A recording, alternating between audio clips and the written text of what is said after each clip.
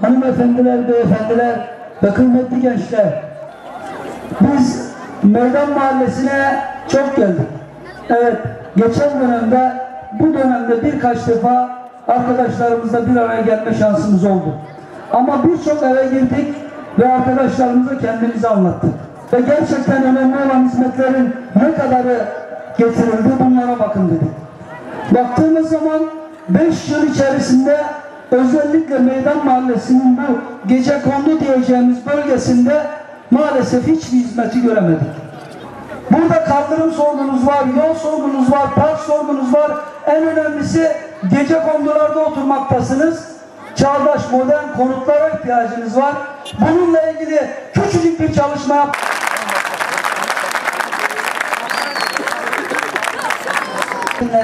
Bu yanlışlar memleketi neresidir? Nereden gelmiştir?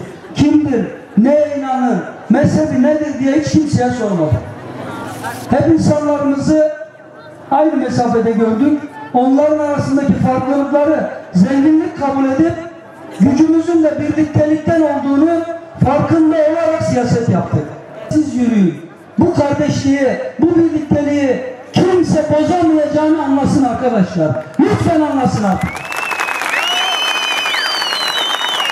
Milliyetçi Hareket Partisi öyle bazılarının anlattığı gibi öcü bir parti değil. Milliyetçi Hareket Partisi bu memlekette yaşayan dört bucaktaki herkesin partisi. Bu milletin partisi. İşte milleti kucaklayacak bir siyasi anlayışla biz şehrimize hizmet etmek istiyoruz. Çalışmalarımızı yaptık.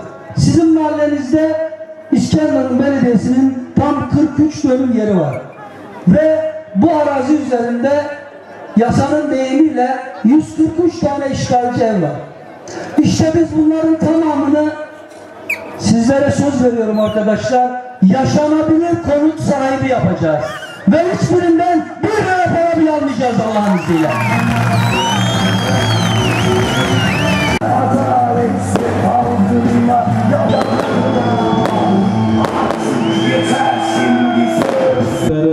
Hırsızlıkların, ihanetlerin, kepazeliklerin cevabı 30 Mart'ta İskenderun ve İsmet İnönü Mahallesi başta olmak üzere bütün Türkiye'de verilecek.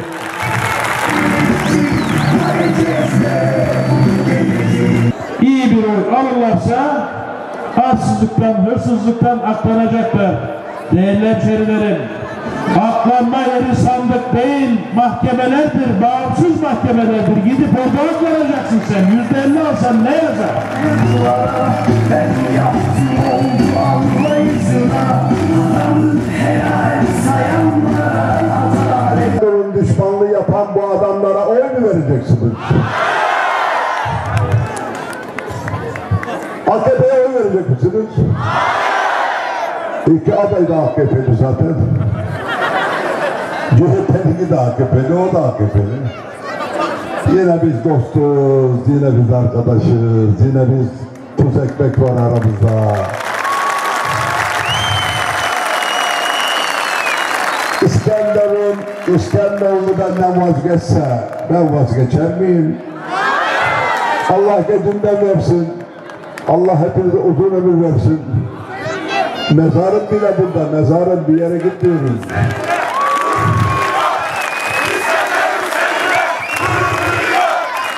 İskenderun'da belediye başkanı olmak istiyorsanız önce oradaki insanların gönlünü kazanacaksınız. İşte biz 2009'da bu insanların gönlünü kazandık. İnşallah 30 Mart'ta maçı bitireceğiz Allah'ın izniyle.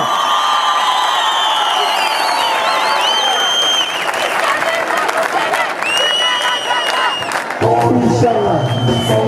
İnşallah, inşallah. Bu yılda revizyon planı revizyon planına döndü. Müteahhitleri zengin etmek adına sahipsiz ve kesinlikle mücadele etme şansı olmayan insanlarımızın alanlarını yeşil alan yaptılar, kamulaştırdılar, el koydular. Evet, Körfez'de oturan dostlarımızın da yaklaşık 25 dönümlük yerini yeşil alan yaptılar. Şimdi bu rant revizyonu yapanlara sormak lazım. Babanızın parasıyla mı aldınız orayı? Bu rant revizyon planına hayır dedik. Biz dedik ki imar revizyon planları bir kentin anayasasıdır. Ve biz anayasamızı hazırlarken uzun vadeli hazırlayalım. En az 50 yıllık, 100 yıllık hazırlayalım. Vatandaşı mağdur etmeden ortak kullanım alanlarımızı geniş bırakarak insanlarımıza